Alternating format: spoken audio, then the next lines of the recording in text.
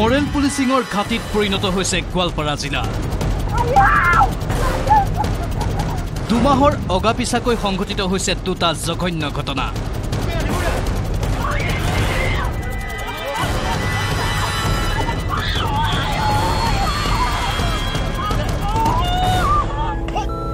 আঠ এপ্ৰিল দেওবাৰ।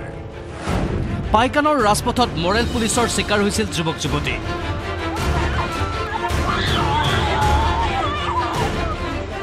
বিয়া ঠিক হৈ থকা যুৱতীগৰাকীয়ে এজন বন্ধুৰ সৈতে বাইকেৰে কাশী খাগ্ৰাৰ পৰা কৃষ্ণাৰ চিকিৎসালয়লৈ অহাৰ বাবেই মৰেল পুলিচে নিৰ্মমভাৱে আক্ৰমণ কৰিছিল দুয়োকে। পৰিয়ালৰ সৈতে ফোনযোগে যোগাযোগ কৰাৰ চেষ্টা কৰা যুৱতীক চৰ গোৰ সোধাই নিৰ্যাতন চলাইছিল উন্মাদৰ দলে।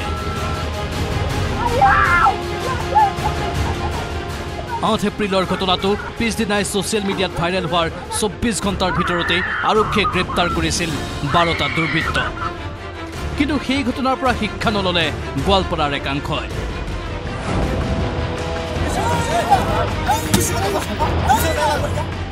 সত্তৰ দিনৰ পাছতেই ৰংজুলিৰ পুখুৰীপাৰা গাঁৱৰ মাজেৰে বাইকত যোৱা এহাল প্ৰেমিক প্ৰেমিকাক আবদ্ধ কৰি একাংশই সংঘটিত কৰিলে আন এক মৰেল পুলিচিঙৰ ঘটনা। দুৰ্বৃত্তৰ দলটোক সন্মুখৰ পৰা নেতৃত্ব দিলে খেৰুপাৰা গাঁওৰক্ষী বাহিনীৰ সম্পাদক কুৰবান আলীয়ে। ইতিমধ্যে ছ'চিয়েল মিডিয়াত ভাইৰেল হোৱা দৃশ্যৰ পৰা কুৰবান আলীৰ লগতে ৰংজুলি আৰক্ষীয়ে চিনাক্ত কৰিছে আন তিনিটা দুৰ্বৃত্ত। গোৱালপাৰা জিলাত সঘনাই হ'বলৈ লোৱা সমাজ সংস্কাৰক ৰূপী এনে মৰেল পুলিচৰ কাণ্ড কাৰখানাই সমগ্ৰ ৰাজ্যতে সৃষ্টি কৰিছে তীব্ৰ প্ৰতিক্ৰিয়া।